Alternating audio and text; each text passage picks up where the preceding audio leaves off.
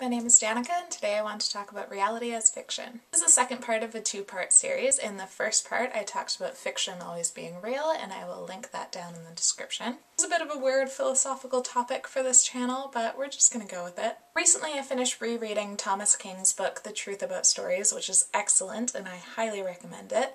And one of the themes in this book is about the importance of stories. This is actually a collection of Massey lectures, and one point that he keeps coming back to is the sentence, the truth about stories is that's all we are. Discusses how stories like creation myths can shape how we see the world and outline possibilities for living in it. I really believe, and I know this is coming from a very biased place, that the only way we can understand the world is through stories. Is especially true of understanding ourselves as well as other people. Things that happen in our lives may be random and inexplicable, but we shape them into stories. Once you've formed a narrative about your life, whether as comedy or tragedy or something else entirely, you can make everything that happens to you fit that narrative, which causes you to prioritize some events and dismiss others. The story we tell about ourselves becomes the core of our identity, which is why when you want to know everything about someone, you would ask their life story. And we do the same thing with other people. We don't remember them as a list of personality traits or a collection of the random things that they've done, but basically as characters. We can't possibly know everything about another person, so we create a narrative for them. You may have experienced a time when you're hanging out with a friend and you see them around someone else, whether it's another friend or a family member, and they start acting in ways that you didn't understand as part of their personality. That other person has a different narrative for them, and your friend adapts by being two slightly different characters around you both. You can argue that we all do this to some extent. We conform to the narratives that we see other people having for us, even though we understand them to be really simplistic versions of our complex selves.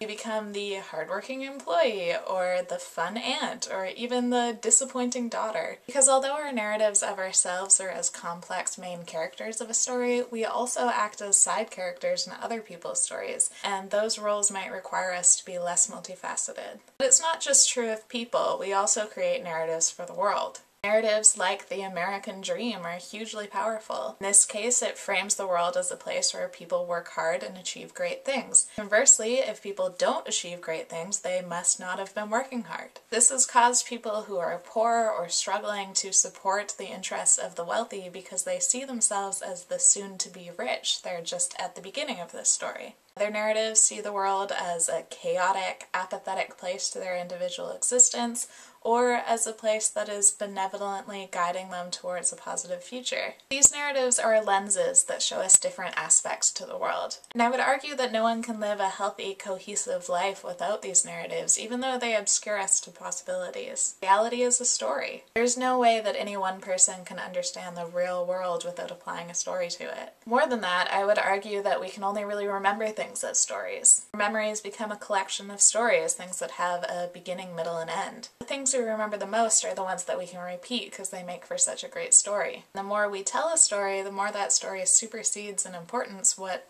really happened. One of my favorite tropes in fiction, usually TV shows, is when you get to see the same event from several different perspectives and you see how it changes in each telling. Even if no one is actively lying, these scenes always play out a little differently, because everyone is telling their own story. Most likely they're telling a story that fits into their grander narratives about themselves and about the world at large. So what really happened? Well, you can believe that it's a bit of a blend of all these stories and you're just getting fragments of it. But in my grand narrative of the world, there is no objective reality. It's impossible for there to be an objective observer, and even if there were, in the process of it becoming a memory, it would have a story applied to it and stories require omission. I was going through my Tumblr when I was thinking of making this video and I found a couple of quotations I thought were relevant. One of my favorites that I've reblogged is from the book The Storytelling Animal, which I have to read sometime. And it says, we are as a species addicted to story. Even when the body goes to sleep, the mind stays up all night telling itself stories. The one I found most pertinent is from an article called Why Fiction is Good for You in the Boston Globe. It says that fiction is more effective at changing minds than nonfiction. The article argues this is because we read nonfiction more skeptically, but I also think it's because the story is easier to absorb and remember than a list of facts. I'm sure that most readers can remember a story that changed their mind about a subject, even if, or possibly especially if that story was fiction. So this is the other reason that I find the sentiment, it's not real, it's only a story, ridiculous. Not only are stories real in the sense that they reflect reality in some way, but reality is also a story. We understand things and people through stories. Stories about which people are main characters and which people are background characters in life.